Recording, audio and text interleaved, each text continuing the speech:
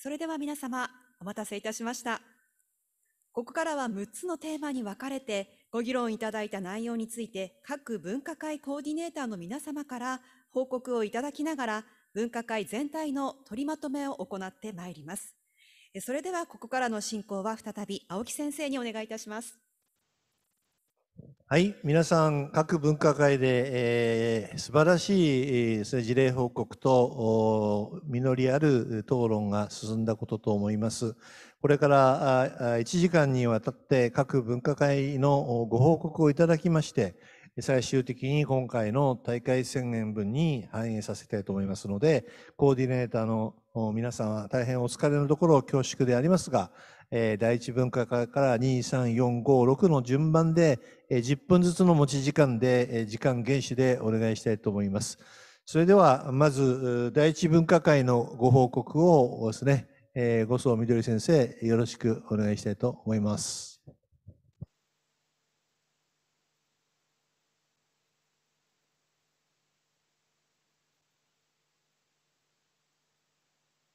失礼しました。はい、えー、それでは、えー、第一分科会につきましてご報告申し上げたいと思います。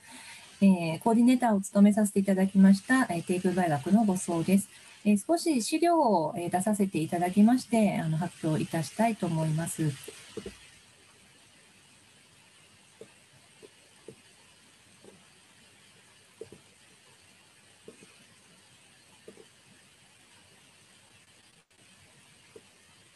えー、まずですね、えー、第一分科会のテーマですけれども、えー、遊ぶツーリズム、えー、グリーンツーリズム、その実践成果の継承と発展というテーマで、えー、皆さんでご報告いただいたという次第です。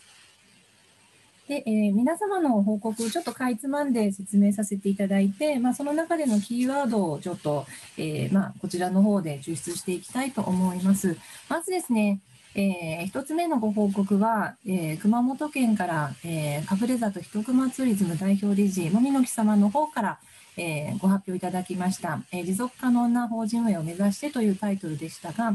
えーまあ、ご存知の通りですね、あの人吉地域に関しましては、えー、ちょうど令和2年昨年度に、えー、豪雨災害が、えー、ありまして、非常に大変な、えー、状況になっておりました。でなかなか、えーまあ、コロナであったりそういった、まあ、あの災害がある中で、えー、やはり、まあ、ツーリズムというのは非常に難しいところではあったのですけれども、えーまあ、あの非常にそれまでは積極的にご活動されていたのですが、まあ、その豪雨災害の時に、え、これまでの活動のメリットとして挙げられたのがあの地域の方同士が、え、長年ドリーツーリズムでネットワークを組んでいらっしゃったので、えー、災害の直後にすぐに皆さんが、えー、地域のボランティアに入ってくださって、えーまあ、夏に豪雨がありましたけど、9月の終わりぐらいまで、えー、そのような、まあ、支え合いをしてくれたという、まあ、そのようなご報告が非常に印象的でした。えーまあ、なかなかのグリーンツーリズムということで活動は難しい時期ではあるんですけれども、え、それだけではない、え、このネットワークの、え、非常にこう、え、重要なメリットっていうのがあったんだなということが感じられた発表で、え、やはりま地域コミュニティにこのグリーンツーリズムというのが、ま、大きく貢献しているんだなということを感じさせていただきました。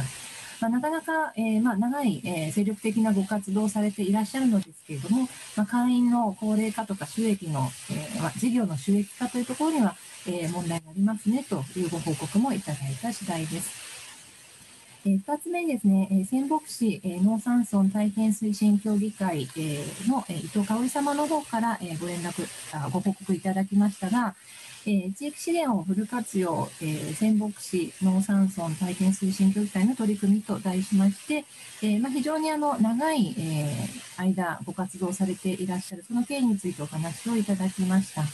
であの実はですねこのコロナ禍でも非常に柔軟な姿勢でいろんなことをされていらっしゃいます。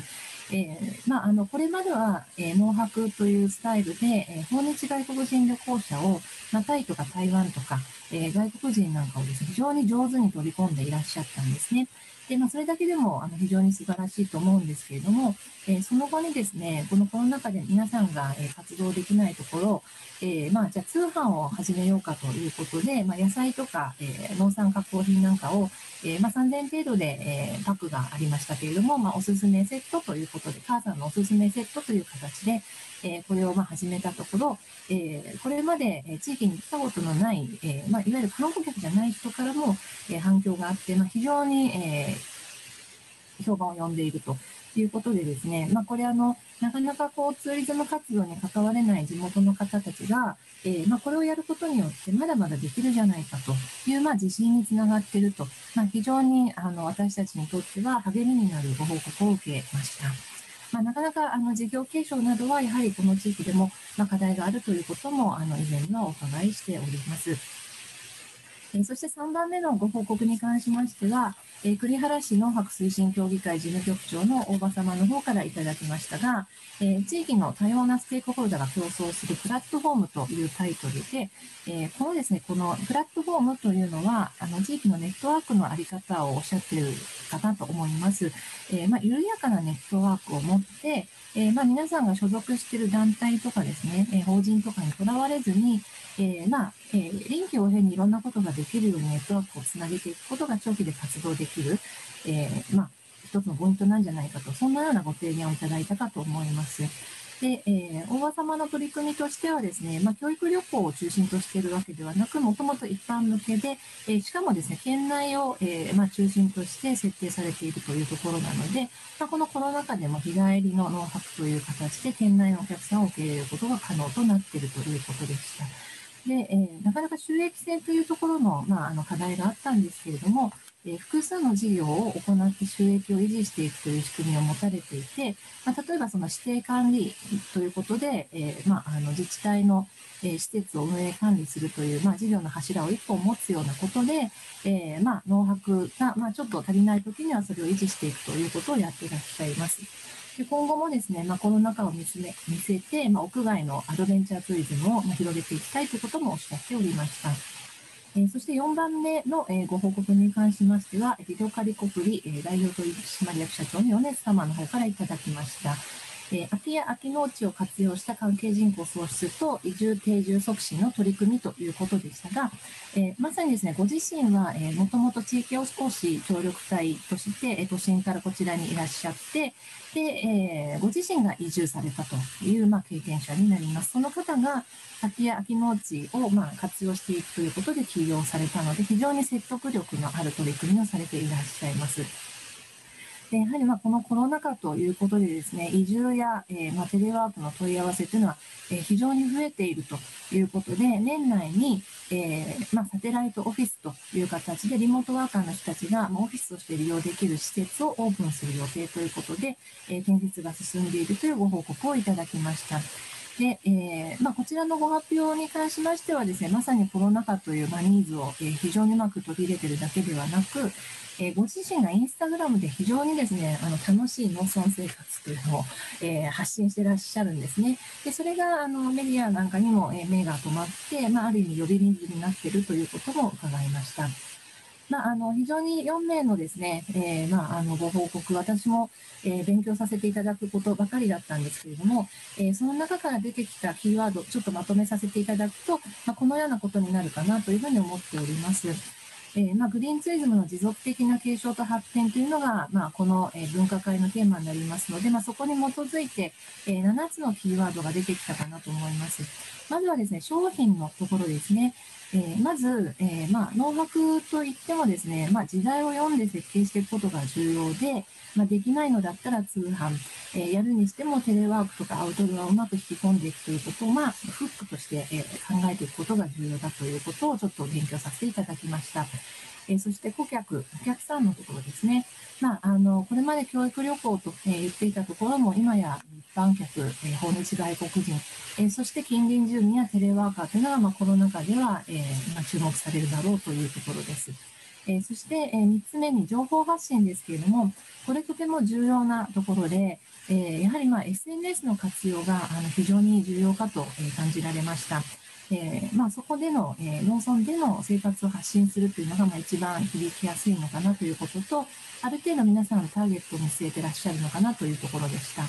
えーそしてネットワークですけれども、まあ、あの皆さんやはりネットワークをとても大切にしてらっしゃって、えまあ、なるべく広め広い範囲で、えそして、えあまりこうかっちりするのではなく緩やかにそして長く、えこの広く緩く長くというのはとても重要なポイントかなと感じた次第です。えそして下の方にあります収益とか、え組織とか人材の問題というのは以前から言われていたところですけれども、まあ、収益性に関しては、え複数事業を確保して、えまあ、収益というのを、まあえ持っておくっていうのが重要じゃないかと。えーそれから農泊に、えーだけっていう形だと難しいかもしれないので、それ以外の柱を持っておくというのも重要だと、まあ、そんなことが感じられたご発表でした。そして組織に関しては、まあ、やる気の人がえ活動しやすいえ高い機動性、えーそこにはま法人格とかですね、え旅行業免許のようなものが重要になってくるというキーワードもございました。そして、えーと今回4名のご発表を聞いて、私の方から、えーキーワードを追加させていただいたのは、やはりこの人材です。えーご発表されている方自体が、えーお若い世代だったり、移住者だったり、また、え女性の方がたくさん入っていらっしゃる、えまあ、そういった団体だったりするということで、まあ、このあたりのえ方々というのは積極的にご活動いただける、え基盤を作っていくことが重要かなと思っております。えーそしてですね、まあ、そういった人たちが活動するためには、おそらく、えーやはり、まあ、え地域の方たちがある程度こう寛容な気持ちで、えーそれをま支援していくということが重要なのかなと、えそんなふうに、え思って、え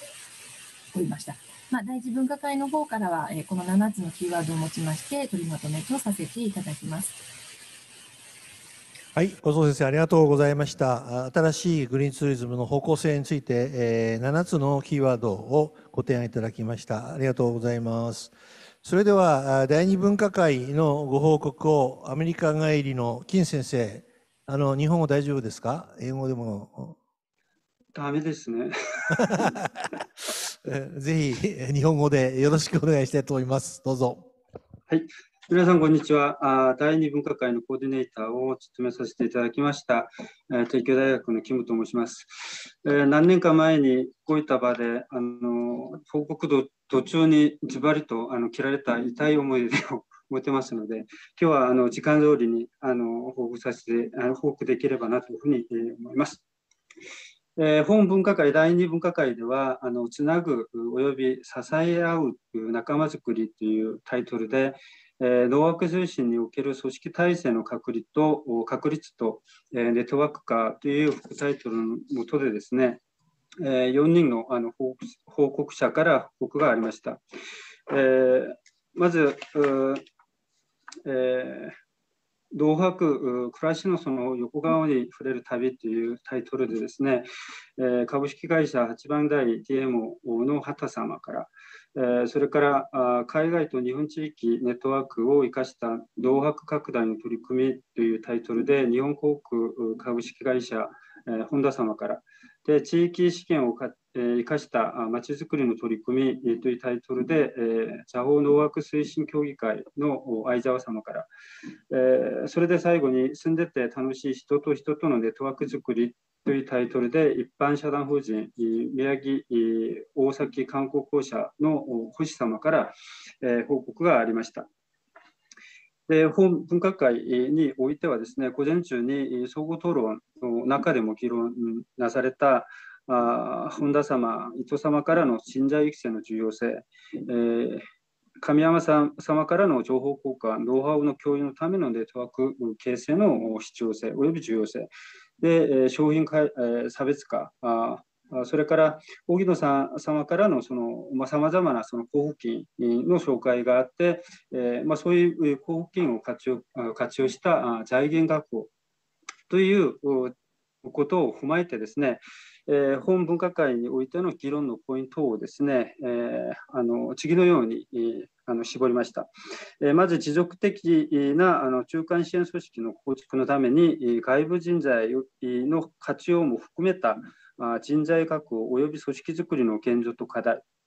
えそれからさらなる発展のための広域ネットワーク形成の意義と可能性、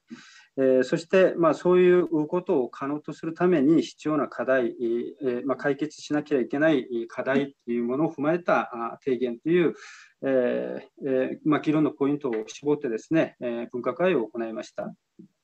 まず、畑様から、まあ、先ほどありましたように、えー、そういうタイトルでですね、えーまあ、地域における観光資源の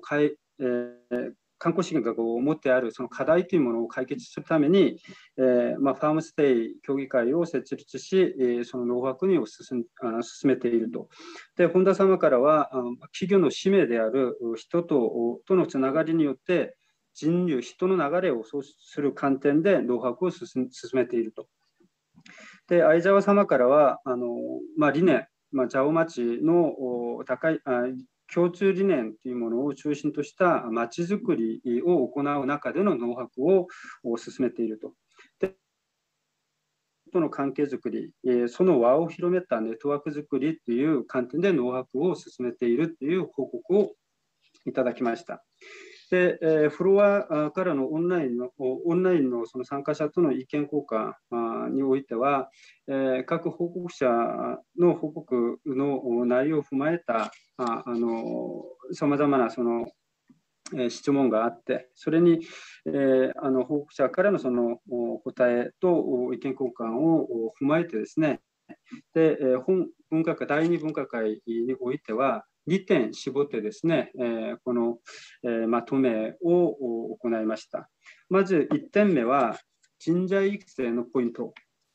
いかに人材育成を行うかというところでですね、で2つ目はあのネットワークの、まあ、広域連携というネットワーク形成とその強化のために必要なものという2つの、えー、ところに、えー、ポイントを追ってですね、えー、あのまとめました。まず第1本目のあの人材育成のポイントについてなんですけれども、えーまあ、あのご存知のように組織を作ってその組織の活用を担う人材育成というところはとても、まあ、その確保から育成というところとても大事なところをなのはその言うまでもないんですけれども、そのモチベーションをいかに高めるかというところがとても大事だの意見がありました。で、誰が仕事をやるのか、あるいは誰のために仕事をやるのかっていうところをみんなのその意識を共有して、同じ価値の中でですね、その仕事をさせて、あの進めていくというところで、あのまあ、その仲間意識があのあの生まれてですねあのみんな一つになれると、まあ、そういう関係づくりというところが大事だ。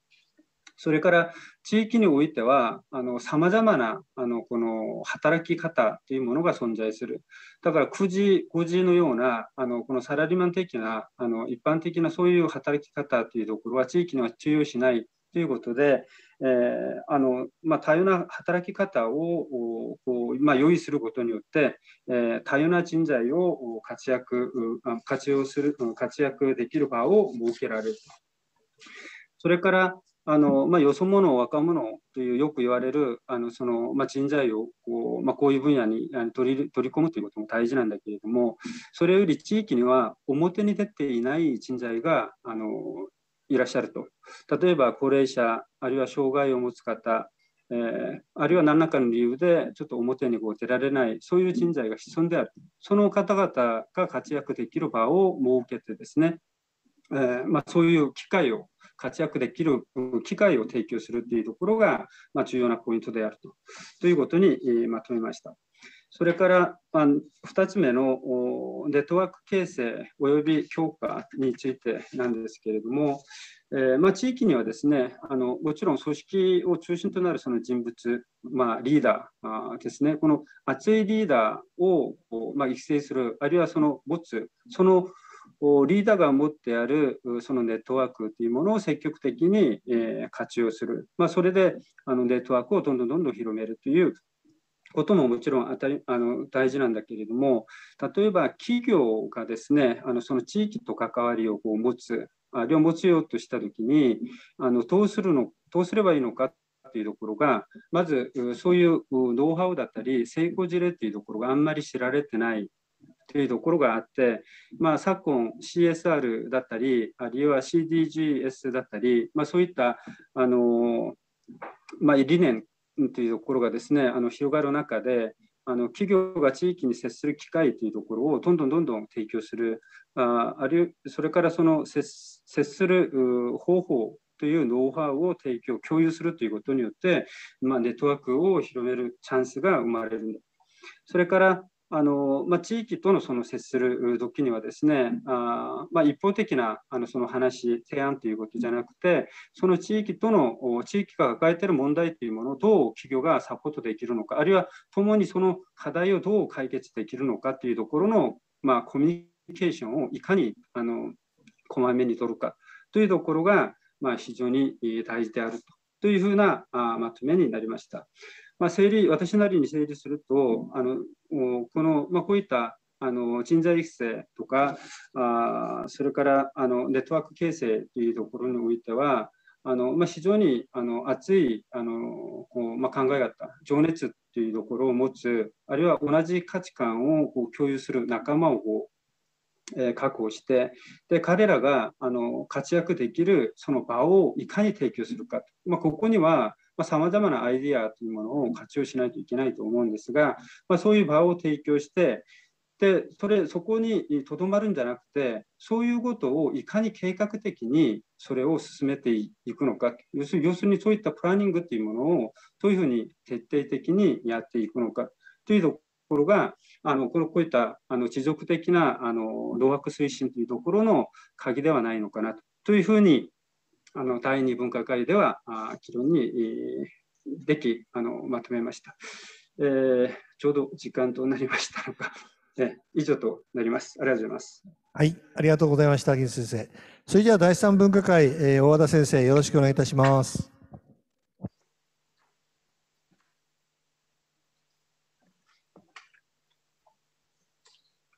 えー、第三分科会の報告をさせていただきます。えっ、ー、と、共有をしたいので、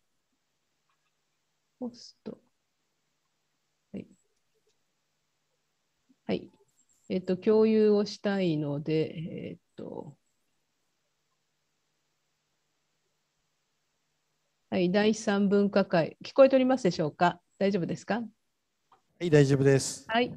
えー、では、えー、報告させていただきます。まあ、第三分科会は、えーまあ、世界農業遺産認定地域に SDGs を学ぶというですね、そういうテーマで、えー、実施いたしましたけれども、えーまあ、基本的な考え方として、この SDGs のウェディングケーキモデルというのがあると。で、この一番下にあるこの自然資本、これはまさに、えー、これがあって、えー、また社会的資本があってこその経済だと、まあ、こういう図があるわけですけれども、この自然資本というのはまさに農産漁村地域にあるではないかと。いうことで SDGs を学ぶのは農産漁村があの非常にふさわしいというお話をさせていただきまして、えー、4人の方から報告をいただきました。で、えーと、1番目のですね、えー、法理さんは、えー、佐渡市役所、もともとはメーカーにお勤めだったこともありますが、U ターンされて、えー、佐渡市役所からですね、このえー、佐渡観光交流機構というですね、DMO に出向されている方、えー、それから、2番目のですね、えー、大分県国東半島宇佐地域からは林様。で林さんはあの、まあ、民間、唯一ですね、農業遺産の協議会の会長で、えー、唯一民間の方ということでですね、ご自身も、まあ、農業をやりながら農家の長男として生まれ、えー、そして、えー、東京大学で学び、東京大学で、えー、研究者として、えー、あの研究を重ね、そして40代で U ターンしというですね、方です。3番目のですね、あのこの長良川中流域のですねからは、えー、カバ洋介さん、祐介さんというですね、NPO 法人の理事長に、えー、出ていただきまして、一番若い40歳ぐらいだと思うんですけれども、まあ、彼もですね、えー、この上流で生まれて、えー、中流で育ってっていうふうにおっしゃってましたけれども、あの本当に長良川音泊というですね、温泉博覧会の略ですが、音泊というですね、地域資源、長良川の資源を活用した、あのえーまあ、観光というか、そういうプログラムをずっとやってきた方なんですね。で、えー、この長良川の価値をどうえ形にするかということをやってきた、まあ、民間の方ということです。そして最後は、え主催地域で、え大崎地域からですね、え世界農業遺産推進課の課長でもある高橋さんにお話をいただきました。でそれぞれの、えー、紹介をちょっとぼやけていて恐縮なんですがあのクリアなものはまた改めて作ってちょっと提供したいと思いますけれども、まああのえーと、佐渡についてはですね、えー、認定から10年経ちまして、えー、それぞれですね大変成果が上がっていると。まあ、新規就農者が増えたりとかですね、えー、この時、そもそも時の数がですね、10倍ぐらいになってるんですよね。えー、今450羽ぐらいいると、まあ、いうようなことになっていたりとかですね、えそれから、えー、この伝統芸能が大変盛んでですね、えー、まあ移住者もかなり増えているというようなお話がありました。で、SDGs に関してもですね、このように、まあ、例えばこの時と暮らす里というお米に関しては2番と対応しているとかですね、それぞれの目標番号に関わる活動をご紹介いただきました。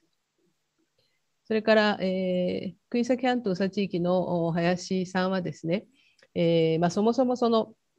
これはあの原木しいたけの栽培ですけれども、このクヌギをですね15年で切るんですね。そして、原木しいたけの、まあ、駒打ちをして、しいたけを栽培あの収穫しというその繰り返しなわけですけれども、まあ、これによって、えー、大体1軒あたりの農家が年間で、えー、どれぐらいの、えー、これちょっと今見えなくて恐縮なんですがあの要はですね、えーと、使っている CO2 よりもあのここに、えー、クヌギクヌギのです、ね、森林にあの貯蔵貯留される CO2 の方が多いよということで、えー、CO2 の、まあ、ここれですね、えー、原木干し椎茸の生産農家は、えー、広葉樹クヌギ林を伐採しているが、えー、森に二酸化炭素を実質的に固定することに貢献していますよというですねこういう観点からあの数字を出してくださいましてで、えーまあ、実際にですねあの自分たちのこのクヌギ栽培がいかに温暖化防止に貢献しているかという観点をお話しくださいました。でまたですね、この倫理的消費、まあ、エシカル消費というものにもですね、え、言及してくださいまして、え、この12番と15番ということで、え、実際この輸入のしいたけよりもですね、4倍ぐらい 価格が高いけれども、え、その背景が違うと。このようにですね、え、森林から、まあ、森から食料を得て地球温暖化防止や食料安全保障に貢献していると。まあ、こういったですね、生物性も維持していると。こういったこう背景ストーリーでこの商品を買ってもらうというこのエシカル消費というのをさらに推進していきたいというお話をされていました。それからこの長良川ですけれども、これあのすごい若いかっこいいあの人がいるんですが、これあの一番若手鮎漁師さんなんですね。鮎漁師さん。で、こういう鮎漁師さんとかですね、それからこの、えー、長良川のあの、えー、っとまあ、船でですねあのこういう伝統芸能で、えー、楽しむというようなですね、えー、長良川を、えー、あゆもちろんあゆパークがあったりするわけですけれどもこういった若い世代やその美濃和紙や和傘ちょっと写真がなくて恐縮です恐縮ですけれども、まあ、そういったものでこう新しい価値を創造しつつかつですね実は、え、例えばあの鵜飼のですね船がのを作る人が今もうあと1人しかいないと。絶滅危惧だということでですね、え、地域文化資源のレッドデータブックなるものをですね、今作成をしていると、まあ、いうようなこともされている大変ユニークな活動をされています。一方で、え、このジアスを支える人材も育成するような事業をですね、県からの委託で、行っているということでした。で、まあ、この地域もですね、あの同じように、えー、いくつかの取り組みに関して SDGs にこのように、えー、取り組んでいるという報告がありました。それからまあ地元のですね大崎からは、えーまあ、あのこの目標ごとにですねどういう取り組みをしているかという紹介とそれからこのようにですね SDGs というのは経済、社会、環境の3側面から捉えることが重要であると、まあ、こういった考え方をしているというお話。それからあのこれ宮城県全体なんですけれども、この教育旅行に SDGs を取り取り入れていると。で、その観点から、この大崎市は、結構広いページをですね、えー、もいただいて、そのいろいろなツアーを提案しているところですと、まあ、いうことでした。で、この SDGs をですね、農産漁村でま学ぶということについてですね、この後あの、えー、ちょっと品種を買いながらですね、ブレイクアウトセッションを刊行いたしまして、しかもさらにですね、えー、Google スライドというものを使ってですね、10のグループに分かれて、それぞれこのようにこうね、えー、筆記の人は大変ですよね。人が言う意見をどんどんその場で書いていくというですね、こんなことをこうしてもらってですね、色を変えているのは、まあ、私が変えたんですけれども、で、まあ、あの、で、当然時間がなくて、えー、意見が言い切れなかったみたいな話がありましたが、で、まあ、まとめ、簡単にまとめますとですね、えー、この代表的な意見をこう抽出したものですけれども、まあ、世界農業遺産の場合はですね、農業遺産に認定された時点で、その SDGs の要素というのも内包しているので、まあ、切り口を明確化すれば何らかでこう当てはまる当てはまるんだとか、あるいはその地球規模の食料問題の解決というのは自分たちの地域を応援することから始めることができる。だから世界の問題と地域の問題はつながっているんだと。それからですね、あの今や農業遺産より SDGs のが有名なので、あの SDGs を切り口に農業遺産を広めてもらったらいいじゃないかっていう話とかですね。それから一方で、まあ、SDGs ってやっぱりまだまだちょっと地域の人たちにとってはね、ハードルが高いので、もう少しなんかこう、工夫が必要かなという意見。あるいは一方で、そのメーカーはですね、もう本当に商工業、まあ、マーケティングで SDGs はやはり欠かせなくなっているよという指摘もありました。で、まあ、教育旅行でも SDGs のテーマが求められています。そして、まあ、いずれにしてもこの SDGs を自分ごと化、まあ、するところから始まるんではないかと、まあ、いうようなことが、まあ、まとめ、皆さんの意見としてはまとめられるかなと思います。で、まあ、このあと1分ぐらいありますか？あと1分ぐらいありますか？自分でタイムキープしてなかったんですけどね、すいません。あの、SDGs を農産業村に生かすというね、これはあの皆さんのお手元の資料にも入れていますけれども、まあ、まずはね、え、自分たちの地域の取り組みが SDGs の何番と関係があるかを見てみましょうと。で取り組んでいないことがあったら何が取り組めるか考えてみましょう。そして先ほどの経済、社会、環境の 3, 3側面から整理してみましょうと。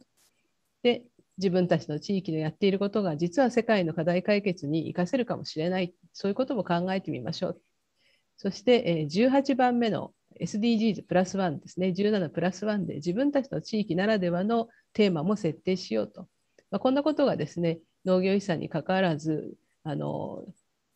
農産漁村でも地域でもですね、SDGs に取り組む視点になるんではないでしょうかということでまとめをさせていただきました。以上になります。はい、ありがとうございました。それでは第4分科会、本田さんよろしくお願いします。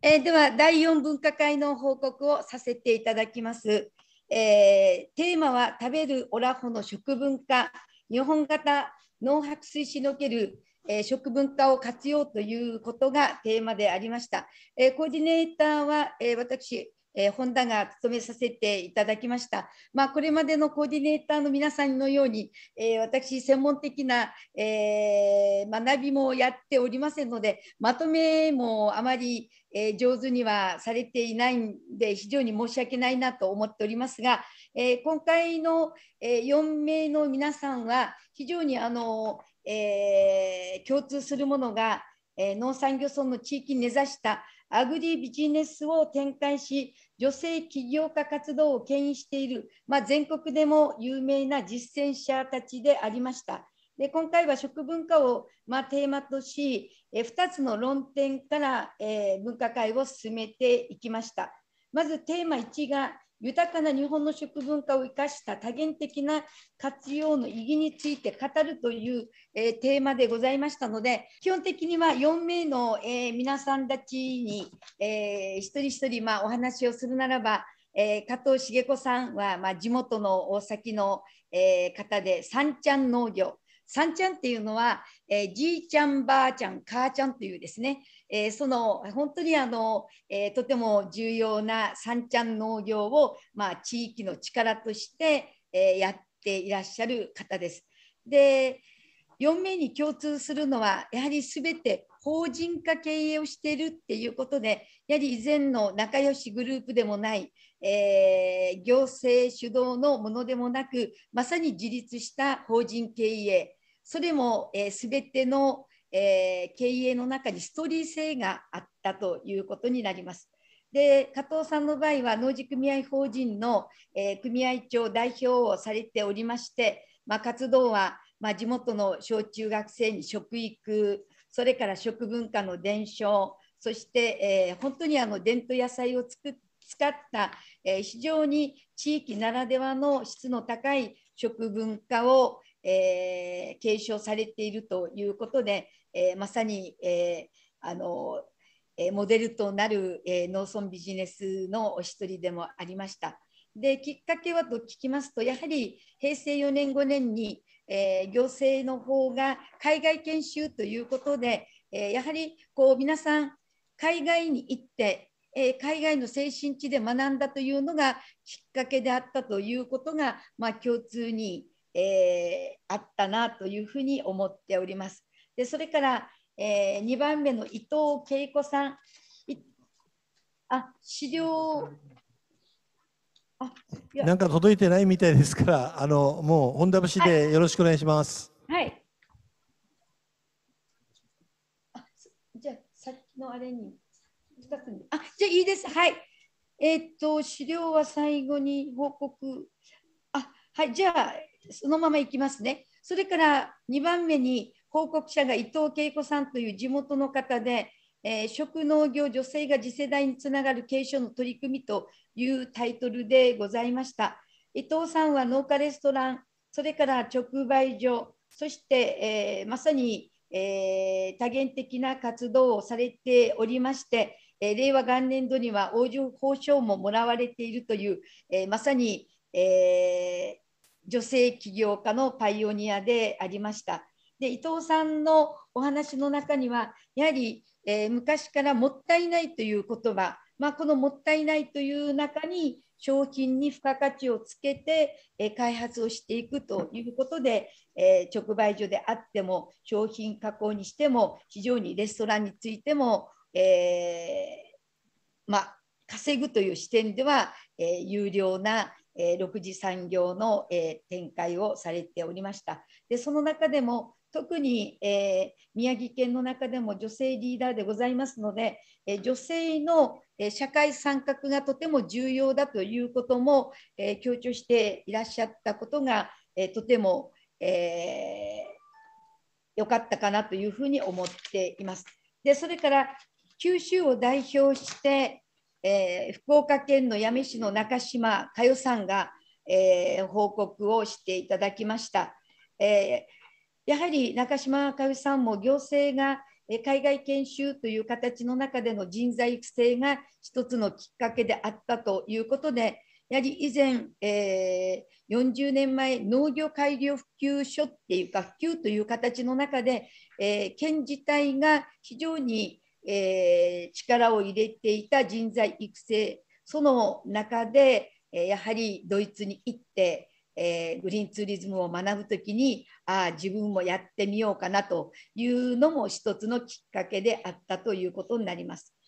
で中島さんの方も、え地域の食文化の伝承には力を入れていらっしゃってその、えー、中島さんのところの、えー、テーマは、えー、今後は、え稼ぐという6次産業で自立をしていく農泊、それからつなぐ、やはり地域の食文化で、え、つなぐ、そして紡ぐという、これは次世代につないでいくということで、えー、娘さんが、え、後継者として、えー、継いでいくという、え、状況になるなっているそうです。でそれから、えー、越前、えー、ロハス越前の田中さんの取り組み、えまさにロハスっていうのは今で言う本当に SDGs と同じ意味合いを持つような、えー、活動でありますけれども田中さんは、えー、旧、えー、役場職員で40代で退職をしそして中間支援的な事務局機能を、え務められたということが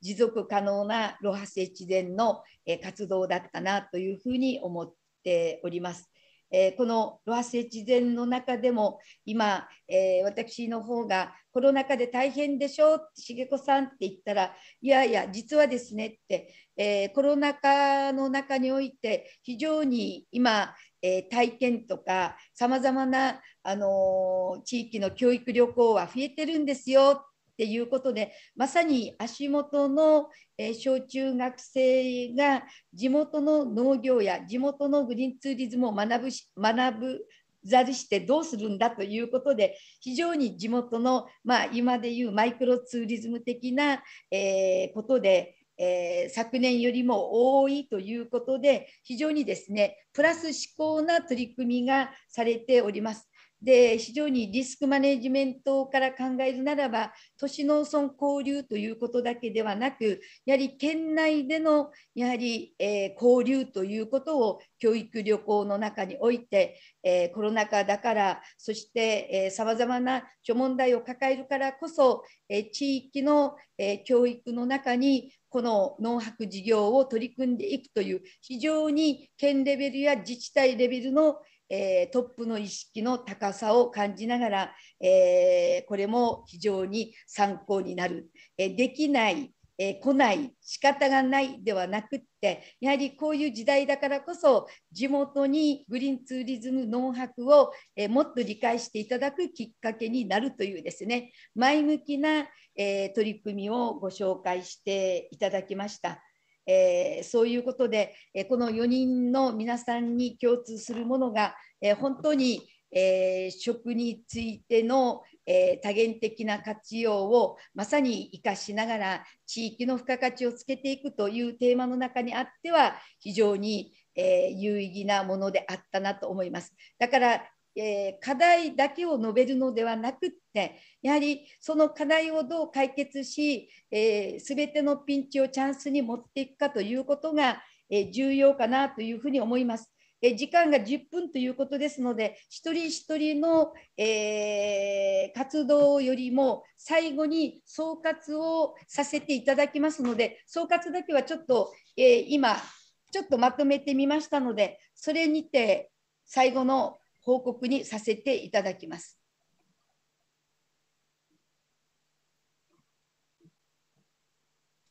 えー、農村女性というのは、はい、あの非常に、えー、6次産業、はい、はい、見えますかね？一応、最後の、はい、はい、あの皆さんたちの話を私なりに、えっ、ー、とえー、10分前にまとめたものがここにありますけれどもやはり次世代の新たな人材教育と確保が必要だということですね。これまでのやはり人材教育だけではやはり、え、多様化した農泊に対応できないということで、え、この人材教育の在り方を、え、これからは模索していく必要があるということ、それから、え、皆さん共通していくいるのがままさにえー、健康志向というですね、えー、ヘルスツーリズムも踏まえて安心安全な食の開発これは食文化食の、えー、キラーコンテンツの中には必要であろうということですね。それから、まあ、宿泊機能の充実と、えー、ここでいう質の向上ということで、えー、これからは、え、もう一回農泊の、え品質を上げていくために、え研修というものを、え充実していく必要があるだろうということになります。えそれが、まあ、農泊の強力な推進ですね。でしかしながら、じゃあ、研修機能を有する施設は、じゃあどこでやるのかと、えー、言われても、えー、それを実践する、そして座学もする、そして、まあ、地域の中でリアルに、えー、体感するという研修施設が、やはりもっと民の中に必要だろうということで、え私自身も思っております。え昨年被災しました、えひまり亭も新ひまり亭の構想の中には、えー、研修機能を充実していくということで、えー、今、えー、準備をしております。でそれから、えー、皆さんたちが本物の食がある農産漁村だからできる食育、えここにも力を入れていきたいというまた食育に力を入れているということでありました。で今日総合討論の中にも申しましたようにやはり、えー、もっと食のブランディング、食のブランド化をしていくことが、えこれからコロナが収束した後の、えインバウンドに対しても非常に重要であろうというふうに、え思っております。えこれまでの食と脳の新たな関係性ということの中で、やはり、えもっと、え多元化した、多様化した関係性の中において、え観光であるとか、福祉であるとか、さまざまな、え要素を取り入れながらコンテンツを商品化していくということが、皆さんたちの共通認識であったと思います。で先ほど、えーと、大和田先生の方が、えー、おっしゃいましたように、えー、まさに SDGs の実践というのは、えー、農産村の中に非常に、え実現可能な要素があるということで、やはり、え地産地消というのは、え脱、えまさにえ二酸化炭素を削減していくという、え海外から輸入しなくても、え地元で採れたものは非常に、え環境に優しい。そして17の目標に沿ったものがほぼ3分の2は農産村で実現していくものではないかなというふうに思っております。それから昨年、被災した時から思いますに、まあ、今後全国どこでも、え自然災害が起こるそういう場面の中においては、え災害教育の中で復興ツーリズムというのも新たなる商品化として、えー、体験をしていくのも必要なのかなということで、まさにウィズ・アフターコロナ禍において、徹底した対策を、していく学びもし直さなきゃいけないだろうということでありました。で総合的に言いますと、まあ、ピンチをチャンスに新たなる食文化を生かした農産業村の活性化を目指していこうというですね新たな、えー、私たちの、え、認識を、え、テンションを上げることができた分科会だったと思っております。えこれまでも申しましたようにやはり、えー、一人の力は小さいですけれどもネットワーク連携というそれも広域連携と、えー、フットワークという実践まさに、えー、実践のみ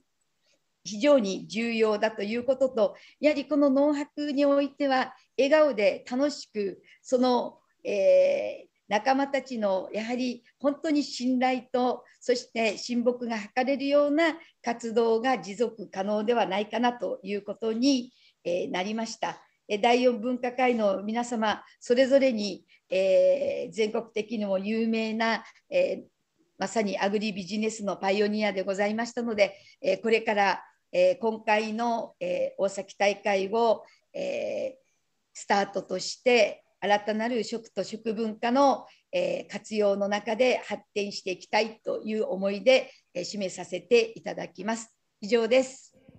ありがとうございました。女性のあふれんばかりのパワーがビシビシ伝わって時間オーバーになってきましたけれども、じっくりまた やっていきたいと思います。ありがとうございました。えー、で第5分科会は私がですね、えー、トイレを我慢しながら頑張りましたが、我々の課題はですね、えー、美しい村づくり、美しい農村景観と地域資源の活用ということでですね、とりわけ空き家とか耕作放棄地が増加していく、あるいは中心市街地の衰退、えー、あるいは地域資源の荒廃、こういったものに私有財産や公共財産の利活用の方途を多様に探りながら、質感高い事業化に向けて品質評価支援事業はどのようにできるかということをですね、4つの事例報告から考えました。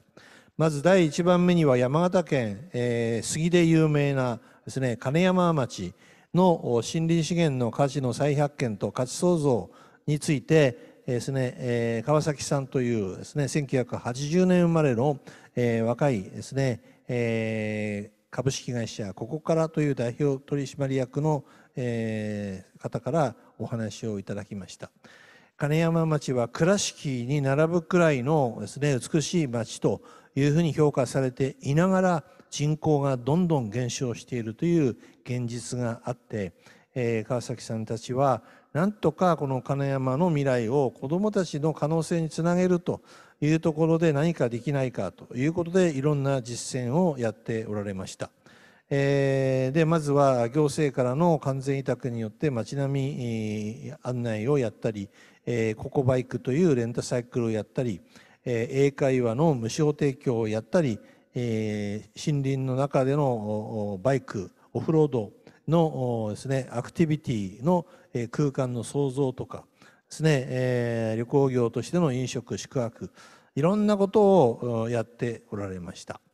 え今後ですね、え子どもたちにあの夢のある図書館をですね、え学校の合併問題というようなものと絡ませながら、統合小学校のに併設した地域にですね、えなんとかですね、今、役場との連、え交渉の中で、え作りたいんだというようなお話をいただきました。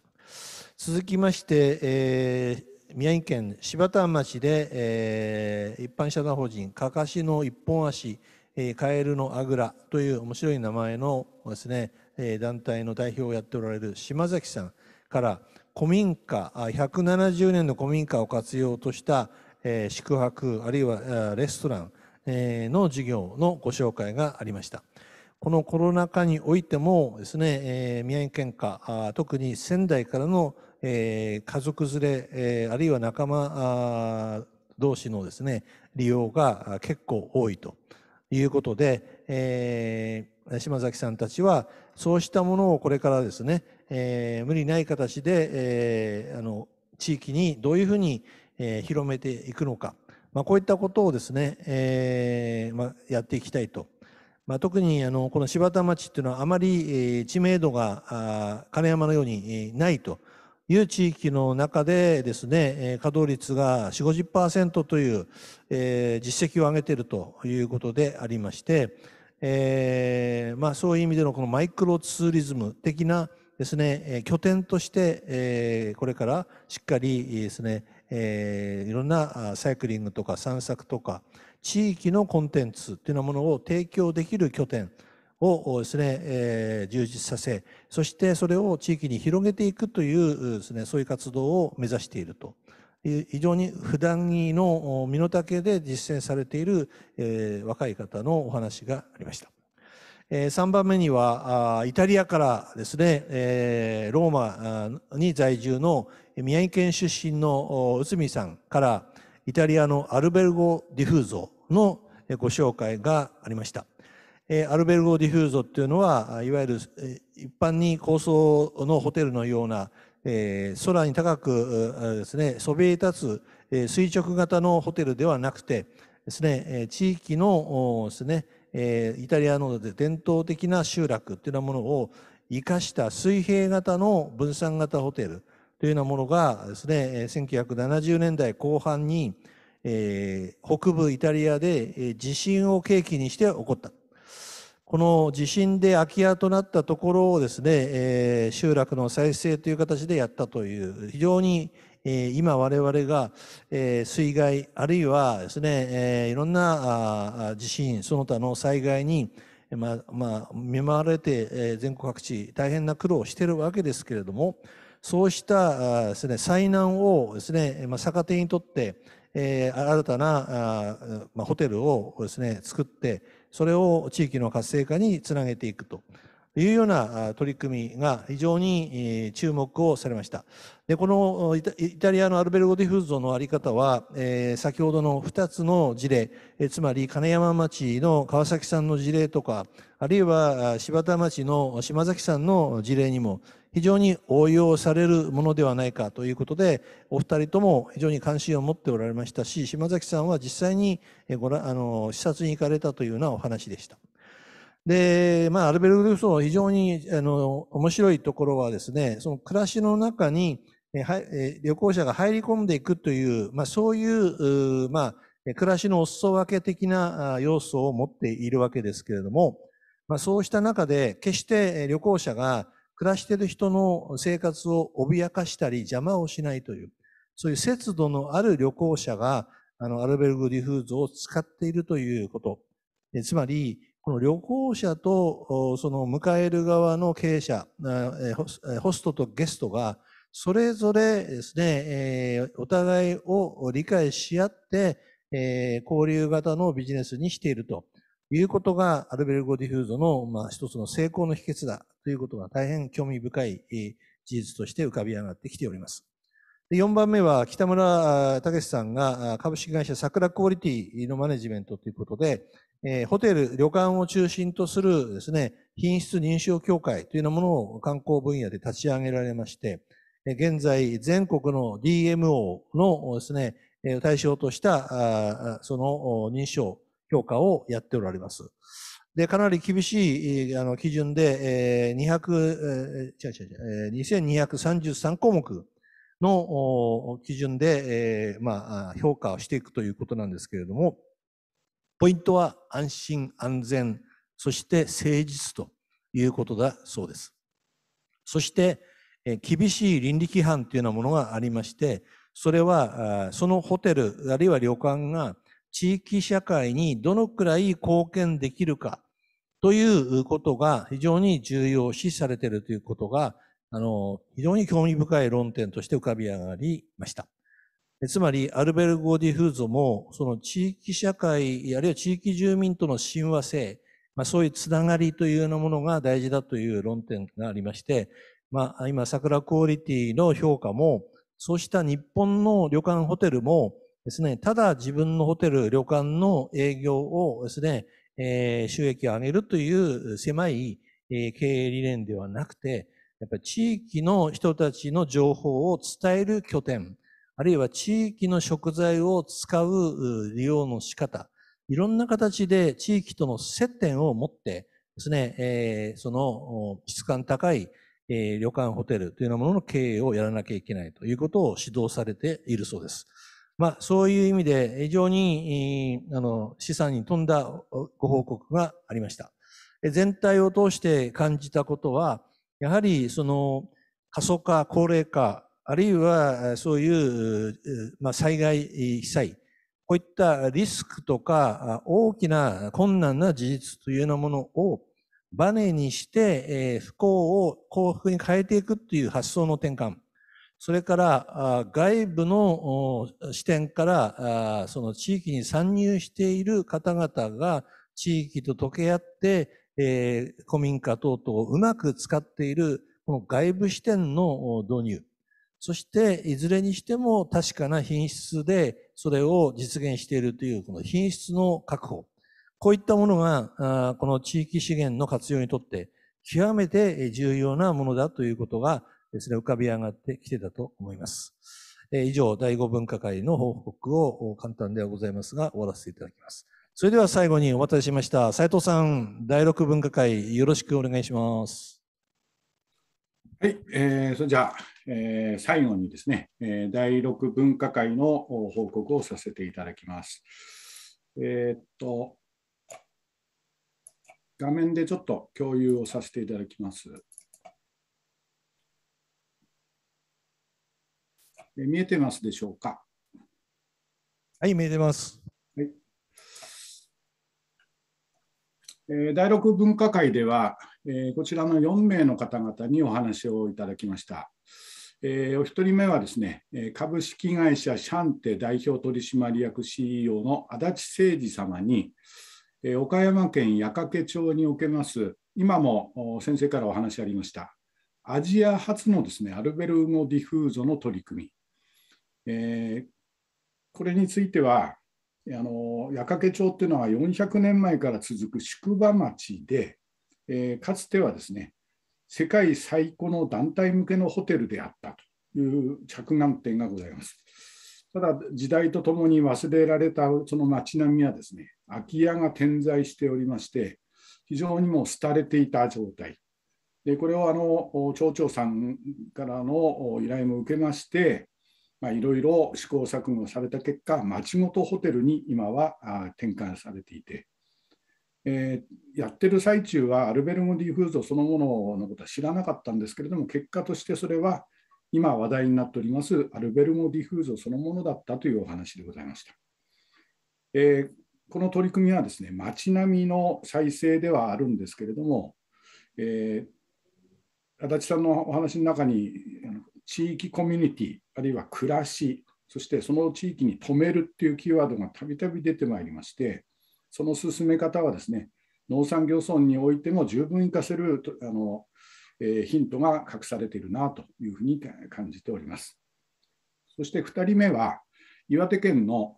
NPO 法人等の山里暮らしネットワークの会長であります菊池真一様に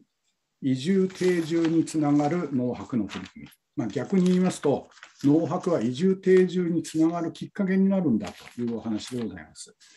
えー、遠野っていうのはもう二十数年前からグリーンツーリズムに取り組まれておりまして、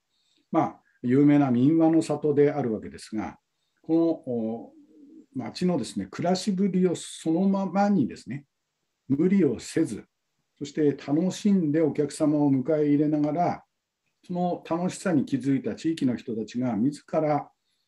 もっとやりたい、もっとやりたいということで、えー、活性化につながり、今はですね、あの農村地域から始まったこの取り組みが、非常に廃れてきていた遠野の町場の方々とも連携して、町場と農村一体型のですね、農泊地域づくりを取り組まれておられるというお話でございます。でコロナ後にはですね、物見さんではない、こういった暮らしそのまんまに交流するこの姿に、え価値を見いだしてくれるお客様がさらにおいでいただいて、えー、さらに農泊等のの地域が活性化するであろうと自信満々にお話になりました。まあ、この取り組みの中で、若い人たちがどんどん移住してくるようにもなっておりましてですね、え、農泊の受け入れの宿泊施設の結構な割合で、え、移住者の人たちがあの新たに仲間入りをしておりまして、まあ、農泊をやることが移住定住につながるんだというあの確信を持ったお話でございました。3人目は唯一女性の方でございますが、カリオン農産開発有限会社の小野寺光様でございます。えー、この会社はですね、えー、農業体験などの受け入れの窓口になっておられる会社でして、農泊を軸とした農村の持続可能性ということでお話をいただきました。まあ、農村にはさまざまな方々が住んでおられるわけですけども、さまざまな方がそれぞれの立場で物を言うだけであったとまあ、今後ですね、えー、農業、この農泊の取り組みを通じてですね、えー、地域を元気にしていこうという、このただ一点の目標に向かって、えー、農泊を推進していくということがですね、えー、地域活性化の起爆剤になり得るのではないかというようなお話でございました。ちなみに小野寺光さん自身も、えー、和歌山県出身だそうでして、まあ、よそ者の女性代表ということでございます。そして地元で農業、そして、えー、グリーンツーリズムの受け入れを行っております、田尻グリーンツーリズム委員会の会長であります佐々木重信様からは、まあ、農泊を生かした農村の再生の取り組みということでお話をいただきました。佐々木様はもともと地元で農業をやっておられまして、若い頃は都会に出向いて米価を上げろ米を上げろ輸入自由化反対ってやって声を上げてきたんだそうですけれども全然その成果につながらず今は都会に行って声を出すだけじゃなくてですね農村に都会の人たちを呼び込んで農業農村を伝えていきたいということで自らも農家レストランを経営されたりさまざまな取り組みをしておられます。以上、4名の方々にまずは発表いただきまして、えー、残された時間はですね、あのこちらにあります、えー、止まる、よみがえる農泊、そして農泊の普及とその可能性について、この3つの、えー、テーマで意見交換をさせていただきました。えー、1つは地域に残された資源、これを活用していくことの農泊の可能性。2つ目は、高齢化、少子化の中で縮小を続ける地方、とりわけ農村経済の活性化の起爆剤となり得る農泊の可能性。そして最後に、ウィズコロナ、あるいはアフターコロナの中でですね、今、えー、触れ合いや交流を制限する、人と会っちゃだめ、集まっちゃだめっていう風潮の中で、農泊の可能性はどんなものがあるだろうかというようなお話をさせていただき、最後にご視聴の皆さんからの質問などもお受けいたしました。まず1つ目の論点でいきますと、地域に残された資源、その活用と農泊の可能性ですが、えー、これ、足立さん、あのアルベルゴ・ディフーゾをやっておられる足立さんのお話なんですが、よく視察に来られる方々が素晴らしいですね。でもこれは自分の町では無理ですねって最初に見た途端に言う人が大変多いんだそうです。しかし、自分の町の見えていないものを掘り起こすこと、それから掘り起こそうとすることが大事なんですよと。最初から無理ですでは何も浮かないでしょうねというお話です。それから、えー、東野の菊池さんがおっしゃいました。インバウンドのお客さんに自分の街の魅力に気づかされることがとても多いと。自分たちにとっては当たり前の風景や暮らしの中にこそ資源があると思いますということです。そして、えー、田んぼそのもの、そこで暮らす農家そのものが資源であるいうようなお話。それから培われてきた食農が資源である。これまでは自分たちが生きるために農業をやってきた。しかし、高齢化などによって自分たちの力だけでは農業農村の存続が危うい。資源を磨いて、都市住民の方々に来ていただいてこそ農村の存続につながるのではないかというようなお話でした。ちょっとお待ちください。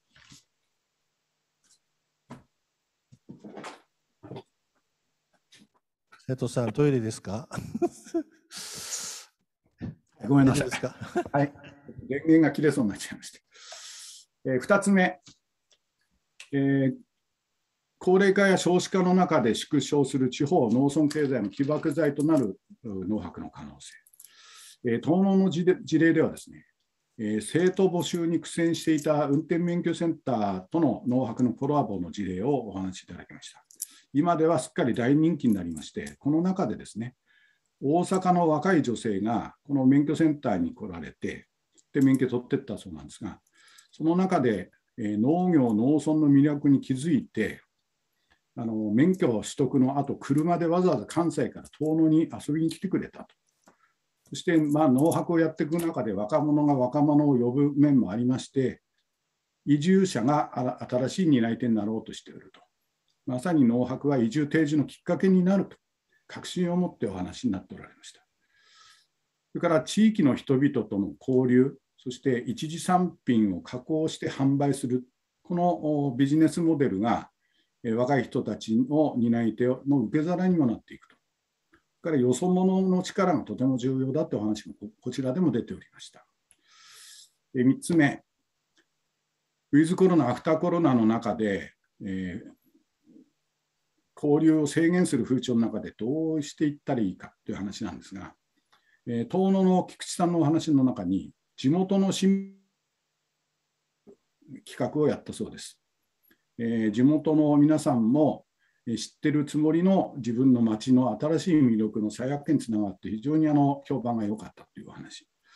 それからこれはあのアルベルグ・ディフーゾ、矢掛町でやっておられる足立さんのお話ですが、コロナ禍の中で、やっぱりお客様を扱う我々はやっちゃいけないことはやっちゃいけないというお話でした。でお客さんが少ないから値段を下げてでも大勢呼び込もうとするようなやり方、大きな間違いだと。でお客さんが少ないなら3分の1にお客さんがなっちゃったんだとしたら値段を3倍にして販売するっていう工夫が大事なんだと。どうやったら3倍の値段でお客さんが来てくれるだろうか、3倍の値段を取っても、えー、お客さんに満足させる、えー、コンテンツってのはどんなものなんだろうか、こういったものを工夫してやってみたと。今年度、このコロナ禍の中ですが、えー、この3倍に設定したところだけが、実は満員になったという、非常にあの、えー、主催に富んだお話をお聞かせいただきました。えー、この取り組みがですね、あの教育、値段的にはどうしても安くなってしまう教育旅行だけじゃなくて、コロナ後、地域の商品の幅を広げる、あるいは受け入れる客層の幅を広げる、いい機会になるんだと。今この時に、えー、工夫しない地域は負けですよというような厳しいお話がございました。そして最後にですね、えー、視聴者の方々、あの行政の方々でし方でしたけども、自分の地域じゃ農泊はやってないし、農泊をやろうとする事業者も地域にいないんだけど、行政としてどうやって推進すべきですか？というお話です。まずは先行地域を見ることから始めるべきでしょうと。非常に分かりやすいアドバイスをいただきました。行政が考える方向性、それから地域コミュニティを継続させなきゃいけないという思い、それから、えー、それを担う事業者の方向性、これ3つ、この3要素が地域を再生していく上では、とても重要なポイントなんだというようなお話でございました。以上3つの論点で、えー、お話をさせていただきましたが、えー、キーワードには暮らしとかですね、ありのままっていうキーワードがいっぱい出てまいりまして、まあ、いずれあの農泊に関わってる皆さん自身でしたけども、農泊をやることは、このまま放っておくと廃れてしまう農村経済の起爆剤には必ずなるという確信を持ったお話をいただいたところでございます。私から以上です。はい、斉藤さんありがとうございました。えー、第一分科会から第六分科会にわたって、えー、とても示唆に富んだ、えー、内容の濃いですね、えー、分科会を、えー、コーディネーターの見事なですね、えー、差配でやっていただきましたことに改めて感謝を申し上げたいと思います。で今ご説明ありました内容をぜひ大会宣言にこれからまとめていきたいと思うんですけれども何せあのもう時間もオーバーしてますしですね、えー、私の能力を超えるような部分も多々あります。したがって今お聞きしたもので、えー、大会宣言分の原案に盛り込むものは赤を入れまして、これから、あの休憩後にですね、え皆様方にご提示いたしますが、ぜひそれをお聞きになって、えまだ足りないぞと、いや私が分科会でやったことが反映されていないんじゃないかというようなお考えをお持ちの方は、えぜひあのホームページの方から入っていただいて今回の大会の感想および大会宣言部への提案という形で生かしていただきたいと思います。